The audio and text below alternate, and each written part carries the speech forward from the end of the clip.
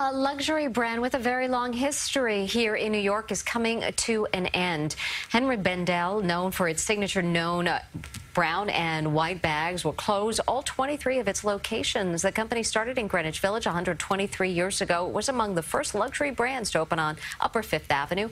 It's owned by L Brands, which says it will focus on its larger businesses, including Victoria's Secret.